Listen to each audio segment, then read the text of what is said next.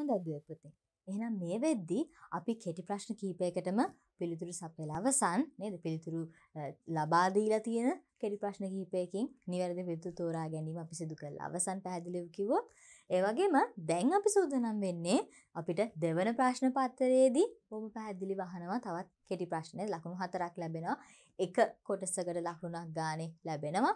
එහෙනම් අපි බලමු මේ වගේ කෙටි ප්‍රශ්නයකට පිළිතුරු ලියද්දී කෙටියෙන් කොහොමද පිළිතුරු සපයන්නේ. ඒ වගේම මේ පාඩම ආශ්‍රයෙන් කොයි වගේ කෙටි ප්‍රශ්නද අපිට එන්නට පුළුවන් කියලා. ඉතින් මතක තියාගන්න මේ වගේ කොටස් නේද පාඩම තුලින්ම අපි සාකච්ඡා කරපු දේවල් තුලින්ම තමයි එන්නේ.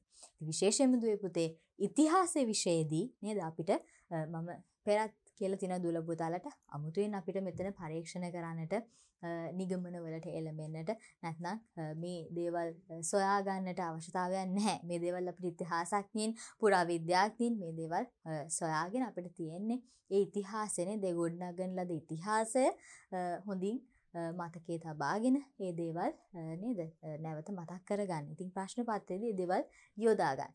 එහෙනම් අපි බලමු එකින් එක මේ කෙටි ප්‍රශ්න වලටත් හොඳින් පිළිතුරු සපයලා. අපිට කියන පහත සඳහන් ප්‍රශ්නවලට පිළිතුරු සපයන්න අප බලමු පළවෙනි ප්‍රශ්නය. පුනරුදය ආරම්භ වූ නගරය කුමක්ද?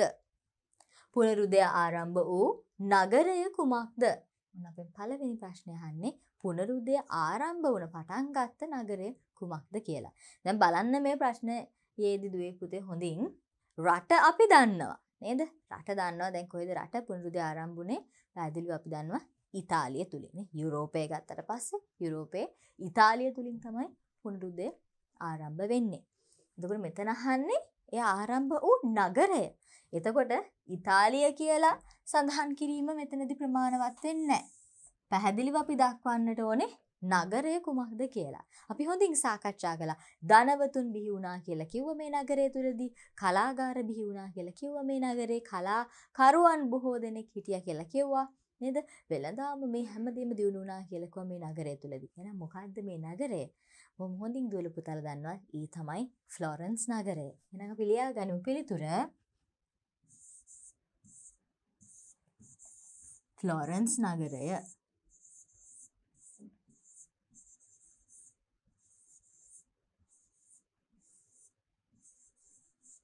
පුනරුදය ආරම්භ වූ නගරය ෆ්ලොරන්ස් නගරය කියලා අපිට දක්වන්න පුළුවන්. හොඳයි. එහෙනම් මම පැහැදිලිව අපි පිළිතුරු සපයාගත්ත අපි යමු දෙවැනි ප්‍රශ්නයට. පුනරුද සමයේ කලා කටයුතු සඳහා අනුග්‍රහය දැක්වූ ධනවත් පවුලක් නම් කරන්න. පුනරුද සමයේ කලා කටයුතු සඳහා අනුග්‍රහය දැක්වූ ධනවත් පවුලක් නම් කරන්න.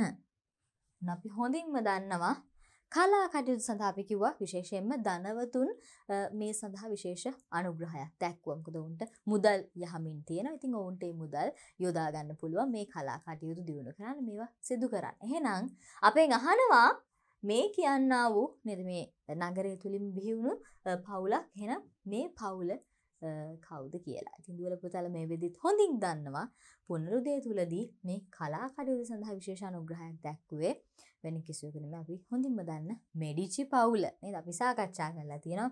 විශේෂයෙන්ම මෙතනදී ලොරෙන්සෝ මෙඩිචි පිළිබඳව අපි සාකච්ඡා කළා මේ පවුලේ වැදගත් පුද්ගලයෙක් විදිහට නේද? ලොරෙන්සෝ මෙඩිචි කියන පුද්ගලයාත් විශාල වශයෙන් අනුග්‍රහය දක්වලා තියෙනවා මේ කලාකෘතීන්ට. එහෙනම් අපි පැහැදිලිව සඳහන් කරගමු මෙතනදී ධනවත් පවුල අපෙන් අහන්නේ. අපිට කියන්න පුළුවන් මෙඩිචි මෙඩිචි පවුල මෙඩිචි පවුල. හොඳයි. එහෙනම් පුනරුද සමය තුළදී කලා කටයුතුවලට විශේෂ වශයෙන් අනුග්‍රහයක් දැක්වූ පවුල තමයි අපි හඳුන්වන්නේ මෙඩිචි පවුල කියලා. අපි යමු තුන්වෙනි ප්‍රශ්නයට. මයිකල් ආන්ජලෝ නම් මූර්ති ශිල්පියා විසින් නිර්මාණය කළ පියටා ප්‍රතිමාව නෙලා ඇති මාධ්‍ය කුමක්ද?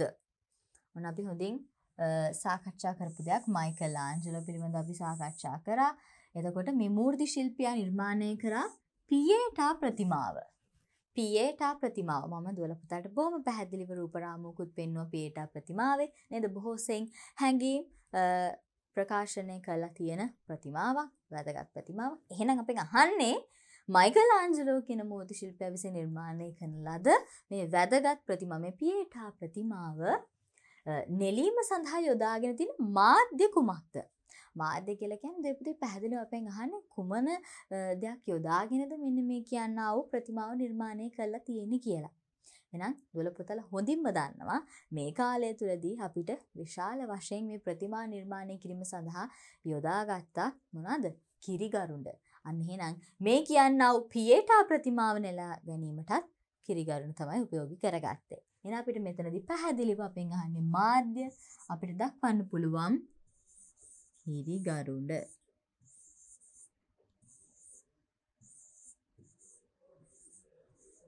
මාධ්‍ය විදිහට පැහැදිලිව කියන්න පුළුවන් කිරි ගරුඩ පැහැදිලිව දක්වා ගන්න පුළුවන්. හොඳයි. එහෙනම් අපි දැන් දන්නවා පියටා ප්‍රතිමාව නිර්මාණය කිරීම සඳහා යොදාගත් මාධ්‍ය මොකක්ද කියලා. අපි යමු ඊළඟ ප්‍රශ්නයට හතරවෙනි ප්‍රශ්නය. පුනරුද යුගයේ ගෘහ නිර්මාණවල දැකිය හැකි ප්‍රධාන ලක්ෂණය කුමක්ද? පුනරුද යුගයේ ගෘහ නිර්මාණවල දැකිය හැකි ප්‍රධාන ලක්ෂණය කුමක්ද? ඔන්න අපි කිහිප පාරක්ම මේ පිළිබඳව සාකච්ඡා කළා. ප්‍රශ්න තුලදීත් සාකච්ඡා කළා. පාඩම තුලදීත් බොහොම පැහැදිලිව සාකච්ඡා කළා දුර පුතලා දැන් මේ වෙද්දි දන්නවා. ගෘහ නිර්මාණ ගත්තට පස්සේ නේද? වාස්තු විද්‍යාව පිළිබඳව අපි කතා කරා. එහෙනම් ගෘහ නිර්මාණ ගත්තට පස්සේ අපි කිව්වා මධ්‍යකාලීන යුගයේ තිබ්බ විදිහ නෙමෙයි පුනරුදු යුගය තුල දක්නට ලැබුණේ. එහෙනම් අපි මෙතන පැහැදිලි වහන්නේ කුමන යුගය තුලද? පුනරුදු යුගය තුල. එහෙනම් දෙය පුතේ පුනරුදු යුගය තුල තිබ්බ මේ ගෘහ නිර්මාණ අපි විශේෂයෙන් කිව්වද ඔය දේවස්ථාන. නේද? විවිධ මධ්‍යස්ථාන අපිට දක්නට ලැබෙනවා. අන්න එහෙනම් ඒ ප්‍රධාන ලක්ෂණය මොකක්ද කියලා අහන්නේ ගෘහ නිර්මාණවල දකින්න පුළුවන්. මෙතනදී අපිට පැහැදිලිව සඳහන් කරගන්න පුළුවන් කරුණක් අපිට දැක්වන ප්‍රමාණවත්. මොකද ප්‍රධාන ලක්ෂණේ විතරයි අපෙන් අහන්නේ. ඒකත් අවධානය යොමු කරන්න දැන්. අපි ලක්ෂණ කියද්දි දුවේ පුතේ දොර පුතාට මතකයි ගෘහ නිර්මාණ ශිල්පය ගැන කියද්දිත් මම කෙටි සටහන් නිර්මාණය කරද්දි කිව්වා ලක්ෂණ කිහිපයක් තියෙනවා නේද? එකිනෙකට වෙනස් වූ ලක්ෂණ තියෙනවා. නමුත් මෙතනදී අහන්නේ අපෙන් ප්‍රධාන ලක්ෂණය. අපි දන්න ලකුණයි ලැබෙන්නේ මේ ප්‍රශ්නයට. නේද? ඒ නිසා එක ලක්ෂණයක් ප්‍රධාන ලක්ෂණය නම් කරාන ඒ ප්‍රමාණවත්. එහෙනම් මොකක්ද අපිට මෙතනට කියන්න පුළුවන්? එහෙනම් පැහැදිලිව ලියා ගනිමු. අර්ධගෝලාකාර ශිඛර සහිත වීම.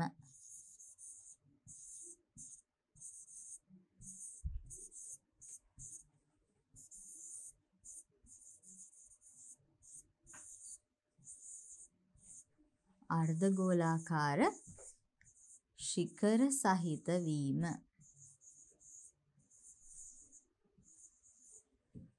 හොඳයි. බොහොම පැහැදිලි එහෙනම් පුනරුද යුගයේ අපිට ගෘහ නිර්මාණව දකින්න පුළුවන් ප්‍රධානම ලක්ෂණය තමයි අර්ධ ගෝලාකාර ශිඛර සහිත වීම. හොඳයි එහෙනම් අපි කෙටි ප්‍රශ්න හතරකට මේ වෙද්දි පිළිතුරු සපයලා හමාරයි. එහෙනම් එක ලකුණු බැගින් තමයි මේ කෙටි ප්‍රශ්න වලට ලැබෙන්නේ. එතකොට සමස්ත ලකුණු හතරක් අපිට දෙවන ප්‍රශ්න පත්‍රයේ මේ ආකාරයෙන් පිළිතුරු ලියලා ලබා ගන්නට පුළුවන්. දැන් අපි යොමු වෙන්නේ තවත් බොහොම වැදගත් කොටසකට. ඒ තමයි දුවල පුතල හැමදාමත් වගේ මාත් එක්ක සාකච්ඡා කරනවා රූපරාමු ආශ්‍රයෙන් එන ප්‍රශ්න. අපි යමු. ඔව්. දැන් රූපරාමු ආශ්‍රයෙන් එන ප්‍රශ්න ගත්තට පස්සේ දුවල පුතල් දන්නවා මුලින්ම අපි රූපරාමුව හොඳින් අවබෝධ කරගන්නට ඕනේ. ඒ වගේම මේ ප්‍රශ්නේ කොටස් හතරකින් යුක්ත වෙනවා නේද? බොහෝ විට පළවෙනි කොටස තුලින් අපිට අහන්නේ මේ රූපය හඳුනාගත්තද කියලා අපෙන් බලන්න මේ රූපේ නම් කරන්න. ඊට පස්සේ දැන් විශේෂයෙන් මේ පාඩම තුල නම් දෙය පුතේ මේ රූපය සිතුවම මේ දේ නිර්මාණය කරන ලද පුද්ගලයා පිළිබඳව නේද? ඒ වගේ මේ දක්නට ලැබෙන ස්ථානය පිළිබඳව, එහි තියෙන විශේෂත්වය පිළිබඳව මෙන්න මේ කියන්නා වූ කොටස් මේ පාඩම තුලින් ලැබෙන පින්තූරවලදී අහන්නට තියෙන ඉඩකඩ වැඩි.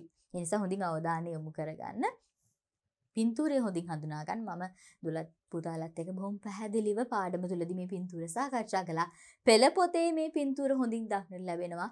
මම පෙරත් සඳහන් කළා තිනවා. ඒ පින්තූර යටින් බොහොම කුඩාවට ඒ පින්තූරය පිළිබඳ විස්තරයක් අපිට පෙළ පොතේදී දක්නට ලැබෙනවා. අන්න ඒව කෙරෙහි විශේෂ අවධානය යොමු කරන්න. ඒ කුඩා කොටස ප්‍රමාණවත් ඇත්තටම ප්‍රශ්න කිහිපයකට පිළිතුරු සපයන්න.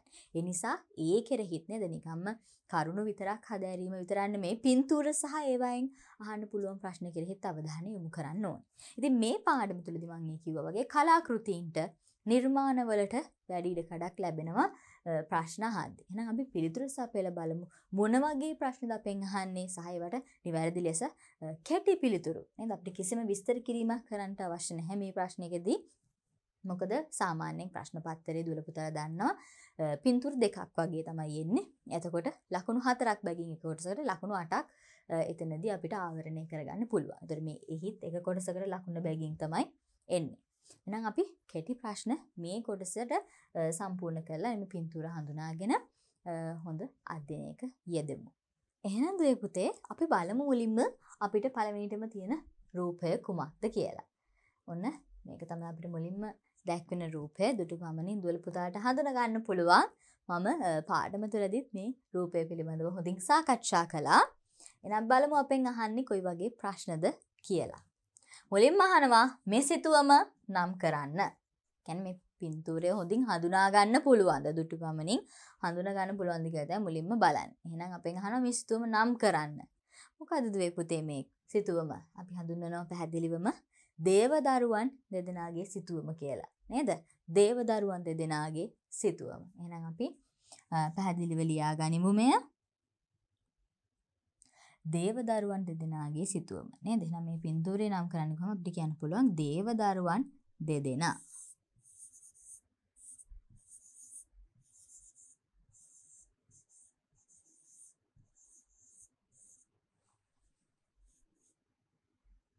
දේවදරුවන් දෙදෙනා. හොඳයි. එහෙනම් මේ සිතුවම දුටු පමණින් අපිට හඳුනා ගන්න බොහොම පහසුයි. ඊළඟට අපෙන් අහනවා මෙය අඳින ලද ශිල්පියා කවුද? මෙය අඳින ලද ශිල්පියා කවුද?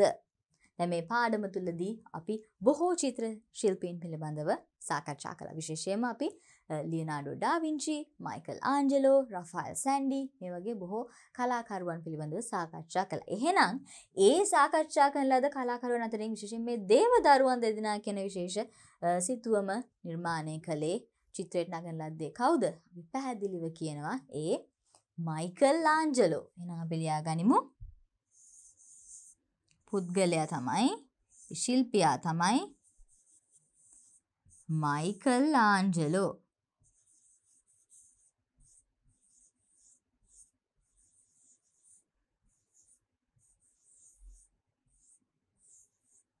මයිකල් ආන්ජලෝ එහෙනම් මෙයා දින ලද ශිල්පියා පැහැදිලිවම මයිකල් ආන්ජලෝ විදියට අපිට දක්වන්නට පුළුවන්.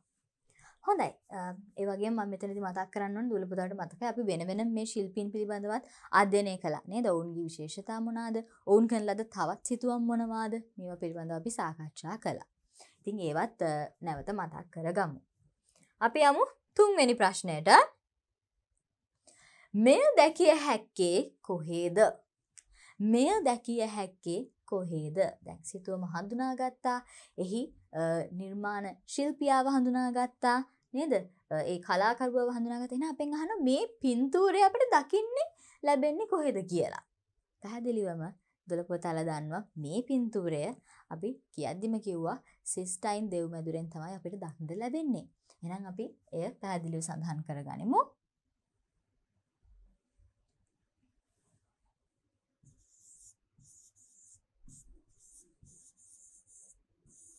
සිස්ටයින් දෙව් මැදුර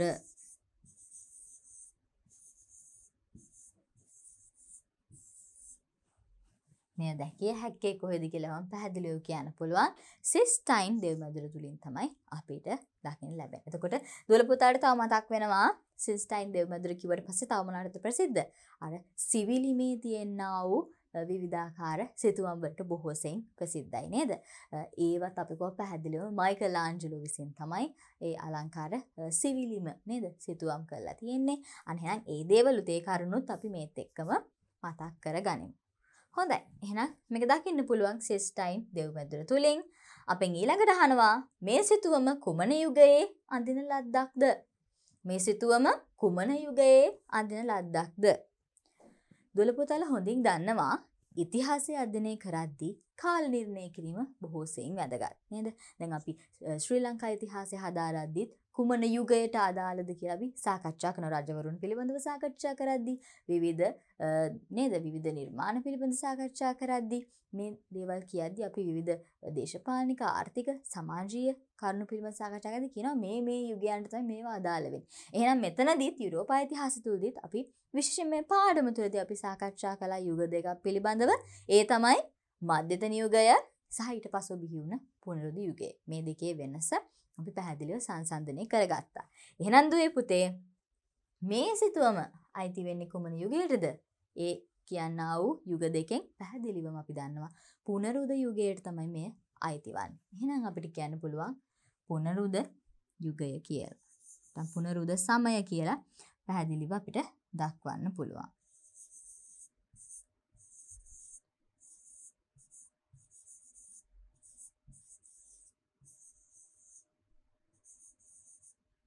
හොඳයි. එහෙනම් බොහොම පැහැදිලි. දේවදරුවන් දෙදෙනා තමයි මේ රූපයෙන් දැක්වෙන්නේ. කවුරු විසින්ද මේ පින්තූරය නිර්මාණය කළේ? මයිකල් ආන්ජලෝ විසින්. ඒ වගේම මේක අපිට දක්නට ලැබෙන්නේ සින්ස්ටයින් දෙව් මැදුරේ.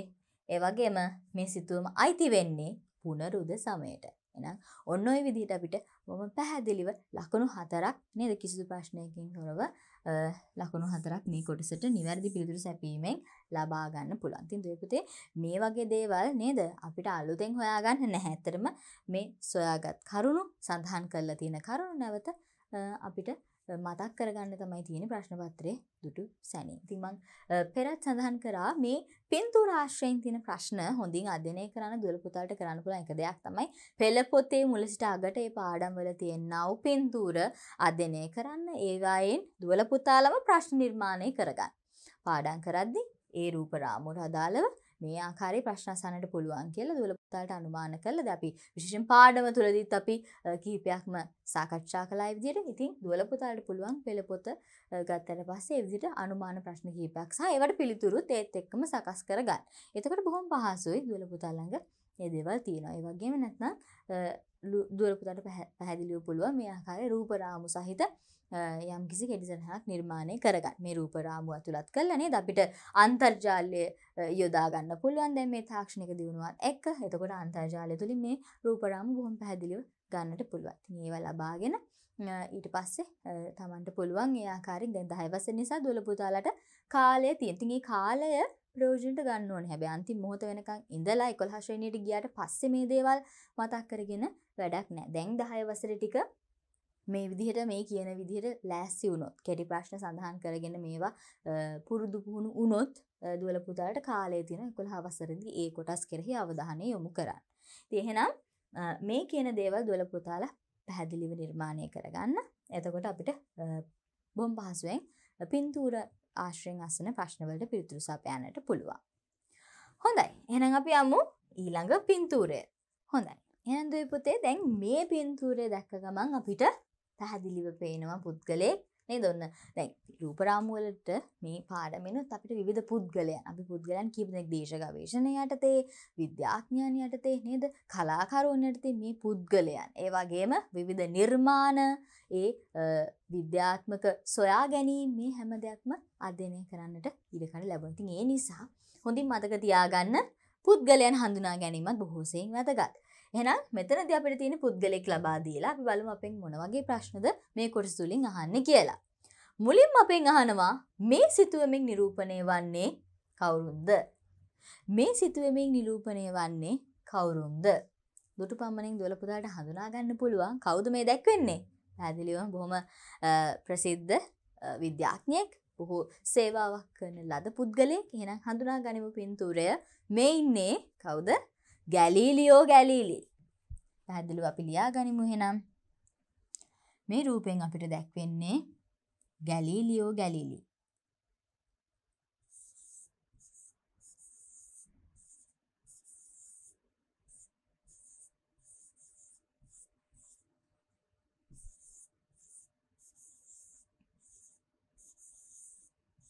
Galileo Galilei.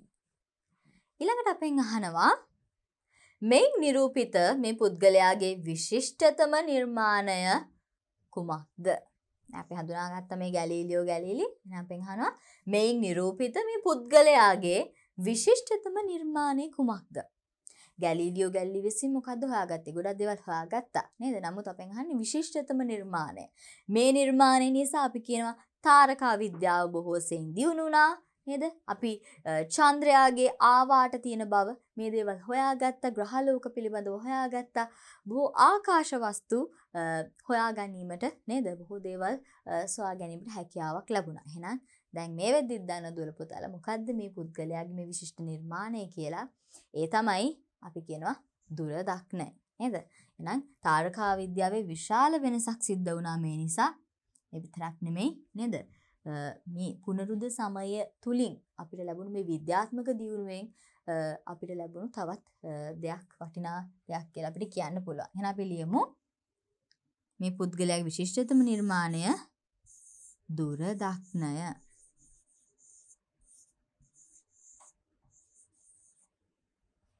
දුර දක්නය.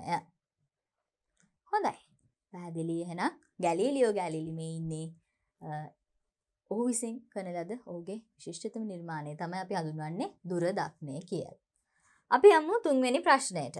මොහු කුමන විශේෂ ශේෂ්ත්‍රයක් සඳහා දක්ෂතා දැක්වුවේද?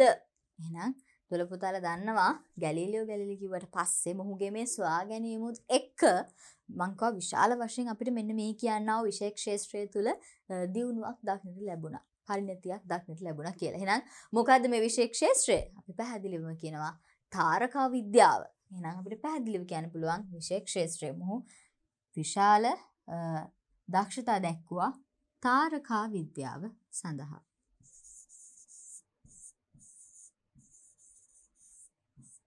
තාරකා විද්‍යාව තාරකා විද්‍යාව. හොඳයි. අපි බලමු හතරවැනි ප්‍රශ්නය මොහුව හඳුන්වන ලද අන්වර්ථනාමය කුමක්ද? මොහුව හඳුන්වන ලද අන්වර්ථනාමය කුමක්ද?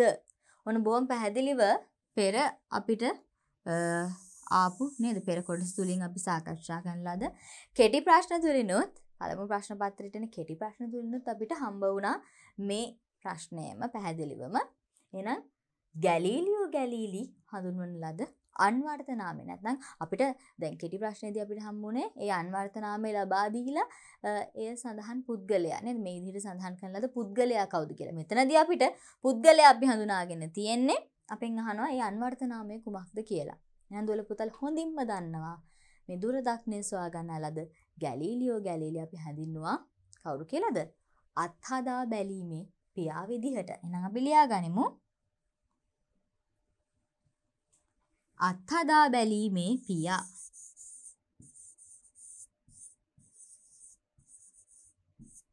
අත්හදා බැලීමේ පියා.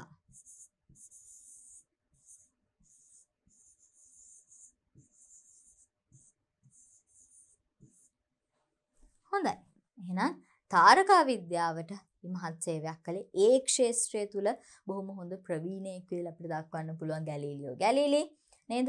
ඒ වගේම මොහු විසින් සොයාගන්න ලද වටිනාම උපකරණය කියලා අපි කියන්නේ දුරදක්නය. මොකද අපිට චන්ද්‍රයාගේ ආවාට ඒ වගේම මේ ග්‍රහලෝක ඒ වගේම තවත් අනිකුත් ආකාශ වස්තුන් සොයා ගන්නට ඒව පිළිබඳව සොයා බලන්නට හැකියාව ලැබුණ මේ සොයා ගැනීමත් එක්ක විශේෂයෙන්ම මොහුට අන්වර්ථ නාමයක් ලබා දීලා තිබ්බා. ඒ තමයි අපි කියන අත්හදා බැලීමේ පියා කියලා. එහෙනම් ඒ වෙන කිසිවෙකු නෙමෙයි ගැලීලියෝ ගැලීලි. එහෙනම් දුවේ පුතේ දැන් හොඳ අවබෝධයක් තියෙන දුවල පුතාලට මේ රූපරාමු පිළිබඳවත් නේද මේ වගේම එකක් දුවල පුතාලට ආවොත් කිසිදු පැකිලීමකින් තොරව පිළිතුරු සපයන්නට පුළුවන්. හොඳයි දුවේ පුතේ.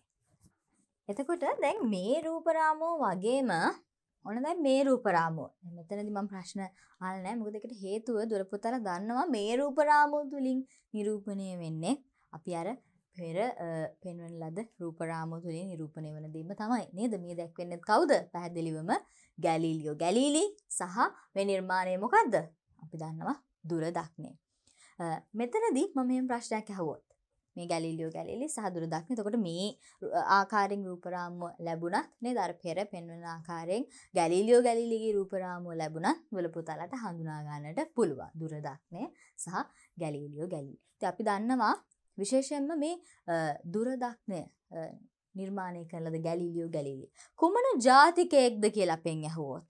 තුළපුතල දන්නවාද කොයි ආකාරය පිළිතුරක්ද අපිට දක්වන්න පුළුවන් ජාතින් අපි දන්න විවිධ ජාතිකින් විශේෂයෙන් යුරෝපා ජාතීන් අතරිනුත් විවිධ ජාතිකයින් මේ නිර්මාණ කරන්න මේ විද්‍යාඥයින් බිහි වුණා. එහෙනම් මම මෙතනදී අහන අමතර ප්‍රශ්නයක් විදිහට දුලපුතලගේ මට කියන්න බලන් දුලපුතල මේ කියන්නාව විදිහට ගැලීලියෝ ගැලිලි කුමන ජාතිකයෙක්ද? දුලපුතල හොඳින් දන්නවා ගැලීලියෝ ගැලිලි කියන්නේ ඉතාලි ජාතිකයෙක්. එහෙනම් පැහැදිලි පේයත් මෙතනම සඳහන් කරගනිමු. එතකොට දුරපොතාලට නැවත මේ රූපය දීලා හෝ අපි පෙර බලන ලද රූපය දීලා හෝ ප්‍රශ්නයක් ඇහුවොත් නේද අපි මේ එක එක ආකාරයෙන් ප්‍රශ්න ලැබෙන්නට පුළුවන්. එතකොට මේ වගේ අපිට පැහැදිලි කරගන්න පුළුවන්. එතකොට ඒ ඉන්නේ ඉතාලි ජාතිකයෙක් නේද?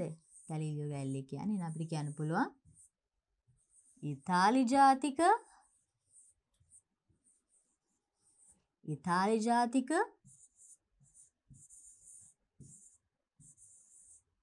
Galileo Galilei. ඉතාලි ජාතික ගැලීලියෝ ගැලීලි. තකොට දුරදක්නය තමයි ස්වාගත කියල පැහැදිලිව අපි දන්න මට කියන දුවල පුතාලා මේ කියන්න වූ දුරදක්නය තුළේ දැපි කිව්වා පැදිලි විවිධ ආකාශවස්තු සොයාගන්නට මේ කියන්න වූ දුරදක්නය හේතු සාධක වුණා. මට කියන දුලපුතාල බොහොම පැහැදිලිව තවත් මොනාද මේ දුරදක්නි උපයෝගී කරන් මේ කාලෙ තුද්දි සොයාගත්තේ. දුලපුතාල හොඳින් දන්නවා පාඩම තුද්දි සාකච්ඡා කළා බ්‍රහස්පති ග්‍රහයාගේ උපග්‍රහයන් සොයාගන්නට හැකියාව ලැබුණා මේ දුරදක්නය තුළින් අන්න තවත් විශේෂතාවයක්. ඒ විදිහටත් ප්‍රශ්න නිර්මාණය වෙන්න පුළුවන්. මොහු විසින් සොයාගන්න ලද උපකරණය කුමක්ද? දුරදක්නය කියලා නම් කරන්න පුළුවන්. එහෙනම් ඒ උපකරණය තුලින් සොයාගන්න ලද දේවල් මොනවාද? නේද? විශේෂ දේවල් මොනවාද? එහෙනම් අපි එයත් මෙතනදී තවදුරටත් මතක් කරගනිමු. බ්‍රහස්පති ග්‍රහයාගේ උපග්‍රහයා නේද? උපග්‍රහයන් සොයා ගැනීම. ඒත් අපි උපකරණය ගත්තොත් අපි දන්නවා දුරදක්නය ඒ තුළින් හොයාගන්නවා බ්‍රහස්පති ග්‍රහයාගේ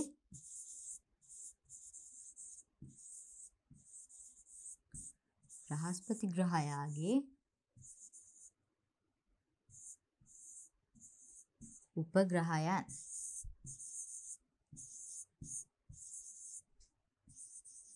එවිතරක් නෙමෙයි අපි පෙරත් සඳහන් කළා තවත් ආකාශ වස්තුන් සොයා ගැනීමටත් නේද?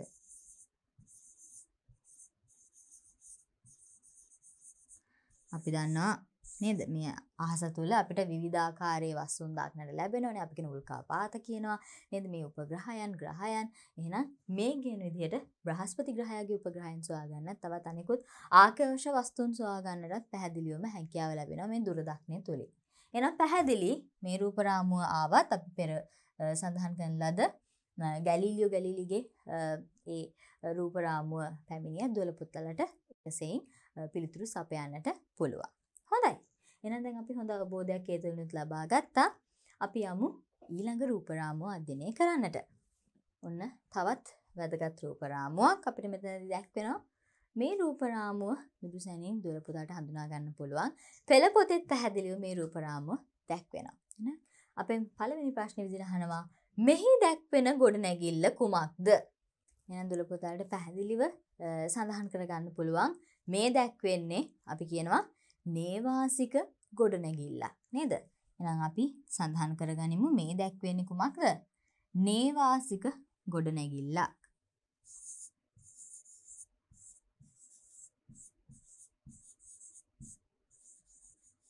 නේවාසික ගොඩනැගිල්ලක්.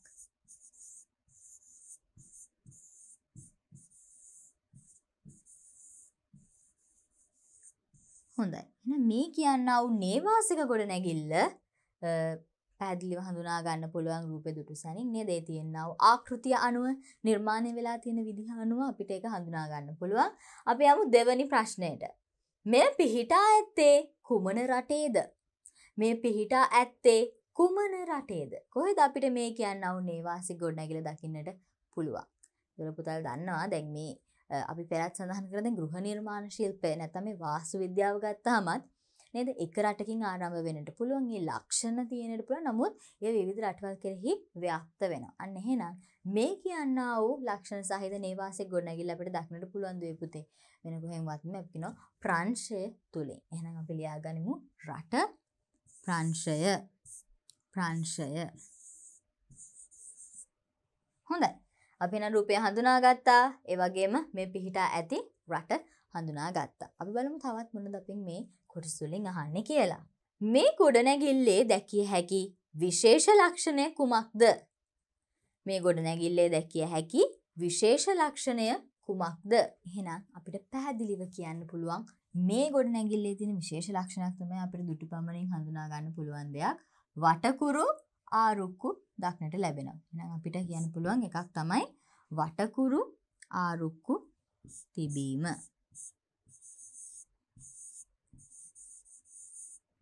වටකුරු ආරුක්කු තිබීම.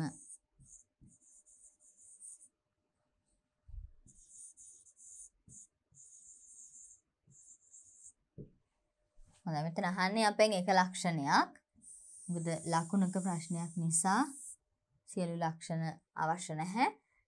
එතකොට අපිට පැහැදිලිව කියන්න පුළුවන් විශේෂ ලක්ෂණයක් තමයි වටකුරු ආරුක්කු මෙහිදී අපිට දක්නට ලැබෙනවා.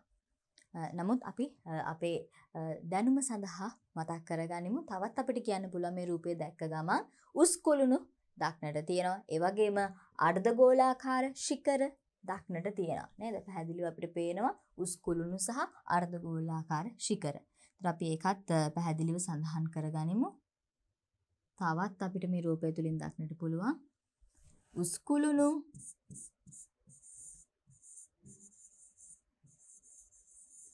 උස්කුළුණු. ඒ වගේම අර්ධගෝලාකාර ශිඛර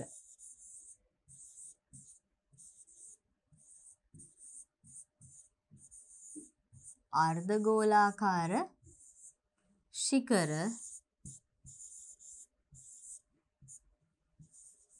දක්නට ලැබීම.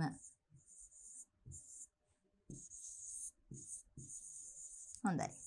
මේ ඕනෑම දෙයක් සඳහන් කර දුවල පොතාලට ලකුණු ලැබෙනවා. මොකද අපි මෙතනින් අහන්නේ එක විශේෂ ලක්ෂණයක්. මම වැඩිපුර කරුණු කීපයක් නම් කරේ.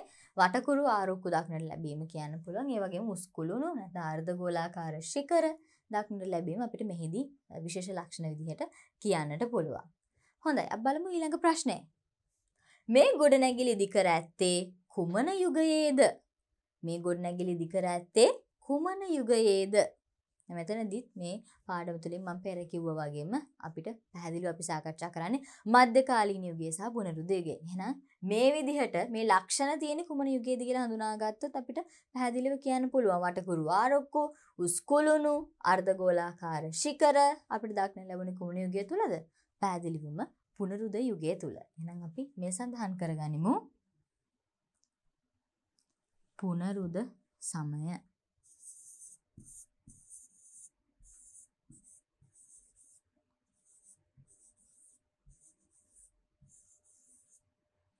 මේ ගොඩනැගිලි ඉදි කරලා තියෙන්නේ පුනරුද සමය.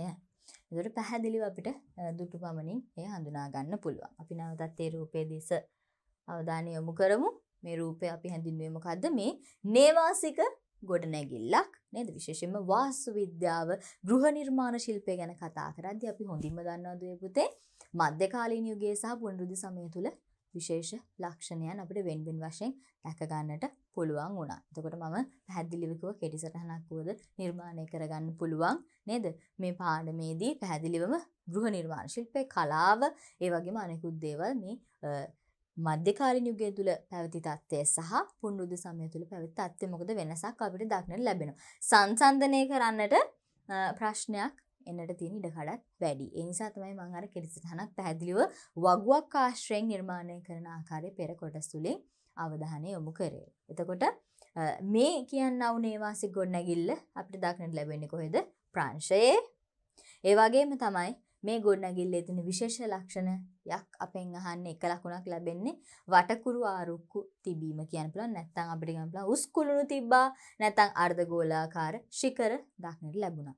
ඒ වගේම අපිට කියනවා මේ ගොඩනැගිල්ල ඉදි කරලා තියෙන කුමන යුගයේද කියලා අහනවා. එතකොට අපිට කියන්න පුළුවන් මධ්‍යකාලීන යුගය සහ පුනරුද යුගය කියන යුගයන් දෙක අතරින් පැහැදිලිවම එය පුනරුද සමයේ දක්නට ලැබෙන ගෘහ නිර්මාණ ලක්ෂණ තමයි දක්නට තියෙන්නේ. ඒ නිසා පුනරුද සමය කියලා පැහැදිලිව කියන්න පුළුවන්. එතකොට එහෙනම් මේ ආකාරයෙන් රූපයෙන් ප්‍රශ්න කොටස් හතරක් ඇහුවාමත් අපිට ලකුණු හතරක් තමයි එක ප්‍රශ්නයකට එක ලකුණු බැගින් ලැබෙන්නේ. ඉතින් ප්‍රශ්න පත්‍රයේදී මම නැවත මතක් කරන්නම් අපිට ලැබෙන්නේ රූප රාමු දෙකක් වමන. එතකොට මේ විදිහට හොඳින් හඳුනා ගැනීම වැදගත් වෙනවා. එහෙනම් දේවපුතේ මේත් එක්කම දැන් අපි මේ කතා කළේ පුනරුද සමය නිසා මතක් කරගත්තොත් මේත් එක්කම මධ්‍යතන යුගය තුල කොයි ආකාරයේ ගෘහ නිර්මාණ ලක්ෂණද අපිට දක්නට ලැබුණේ කියලා දුල පුතාලා දන්නවා නේද? උල් කේතු ආකාර දේවල් අපිට දක්නට ලැබුණ පැහැදිලිවම නේද? ඒ වගේම අපි කියනවා උස් වහල නේද? උල් කේතු ආකාර පැහැදිලිවම අපි කියනවා ආරුක්කු දක්නට ලැබුණ කියලා. ඒ වගේම උස් වහල මම කිව්වා වගේ ඒ විතරක් නෙමෙයි අපි පැහැදිලිව කියනවා මේ කුළුණු පිරමීඩ හැඩේ කුළුණු අපිට දක්නට ලැබුණ අන්න මධ්‍යතන යුගයේ. ඔන්න වෙනසක් පැහැදිලි වෙනසක් අපිට දක්නට ලැබෙනවා. එතකොට මේ කියන්නා වූ පුනරුද්ධ සමය සහ මධ්‍යතන යුගයේ තිබ්බ ඒ ගෘහ නිර්මාණ ශිල්පයේ තිබ්බ වෙනස්කම් පිළිබඳව සාකච්ඡා කරද්දී. එතකොට තව දෙයක් මම මතක් කරන්නම් දැන් මේ කියන්නා වූ මේ වටකුරු ආරුක්කු සහ උස් කුළුණු අර්ධගෝලාකාර ශිඛර කියන දේවල් අපිට දක්නට ලැබුණේ කුමන ආභාෂයෙන්ද? මේ පුනරුද සමයට ආපු මේ ආභාෂය කුමක්ද? කුමන ගෘහ නිර්මාණ ශිල්පය ආභාෂයද? පැහැදිලිවම. රෝම ගෘහ නිර්මාණ ශිල්පය ආභාෂිතම දයපුතේ මේ අපිට ලැබුණේ. පුනරුද සමය තුළ එහෙනම් රෝම ගෘහ නිර්මාණ ශිල්පයට අනුකූලව තමයි මෙය නිර්මාණය වෙලා තිය එයත් අපි හොඳින් මතක තියාගත යුතුයි. එතකොට මේකට උදාහරණ විදිහට අපිට කියන්න පුළුවන් දෙය පුතේ පැහැදිලිවම රෝමේ ශාන්ත පීතර බැසිලිකා දෙව්මැදුර ඒ වගේම ෆ්ලොරන්සි ආසන දෙව්මැදුර මෙන්න මේ කියන්න දේවල් නේද පැහැදිලිව උදාහරණ විදිහට මේ රෝම ආభాෂය ලබාගෙන නිර්මාණය වෙච්ච නැත්නම් මේ පුනරුද සමය තුල අපිට දක්නට ලැබුණ ගෘහ නිර්මාණ ශිල්පවලට අපිට ගන්නට පුළුවන්. ඉතින් හොඳින් මතක තියාගන්න. ඒ වගේම තමයි දුවල පුතල් දන්නවා මේ දෙව් මැදුරු නේද? මේ වගේ මේ ආවේනික නිර්මාණ බිහිවුණේ ඒ විදිහට. එතකොට මේ දෙව් මැදුරු මුල් කරගෙන මොකද අපි දන්නවා? මේ තවමත් නේද? මධ්‍යතන යුගයෙන් පුනරුදු යුගයට ආවත් තවමත් ආගම කෙරෙහි මේ සංස්කෘතිය තුලින් විශාල අවධානයක් යොමු කළා. ඉතින් ඒ නිසා තමයි අපි පැහැදිලිව කියන්නේ මෙතනදී ඒ ආభాසය මේ දේවස්ථානවලට ඒ වගේම අපි දන්නවා පැහැදිලිව රෝමය ගත්තට පස්සේ මේ රෝමවරුන් සුකෝපභෝගී මන්දිර තැනීමට නිතරම උත්සාහ කළා නේද? උන් බොහොම සුකෝපභෝගී ජීවිත ගත කළ පුද්ගලයන් හිටිය. ඒ නිසා උන් සුකෝපභෝගී මන්දිර තැනුවා. අන්න ඒ නිසා තමයි මේ ආකාරයෙන් ටිකක් අර මධ්‍යතන යුගයේ තිබ්බ ඒ ආගමික මුහුණුවලට වඩා වෙනස් ස්වරූපයක් නේද ලෞකිකත්වයට නැඹුරු යුගයක්. ඉතින් ඒ නිසා මේ වෙනස් ස්වරූපය ඒ සුකෝපභෝගී ජීවිත ගත කිරීම තුළින් අපිට මෙතනදී දක්නට ලැබෙන්නේ. එහෙනම් මේ දේවලුත් මම නැවතත් මතක් කරේ දුවල පුතාට බොහොම වැදගත්. මොකද මේ සංසන්දනය කිරීම වලදී නේද? අපිට හිතන්න අපිට පැහැදිලිවම ගෘහ නිර්මාණ ශිල්පයේ මධ්‍යකාලීන යුගය තුල දක්නට ලැබුණු ඒ ස්වරූපය සහ පුනරුද යුගය තුල දක්නට ලැබුණු ස්වරූපය විස්තර කරන්න. සංසන්දනාත්මකව පැහැදිලි කරන්න. ලැබුණොත් නේද? නැත්නම් කලාව මධ්‍යතන යුගය තුල දක්නට ලැබුණු කලාව සහ පුනරුද යුගය තුළ දක්න ලැබුණු කලාව සංසන්ධනාත්මකව පැහැදිලි කරන්න. අනු උදාහරණයක් තියෙනවා. දැන් මම ගෘහ නිර්මාණ ශිල්පය සඳහා උදාහරණ ලබා දුන්න පැහැදිලිවම කලාව ගත්තත් නේද?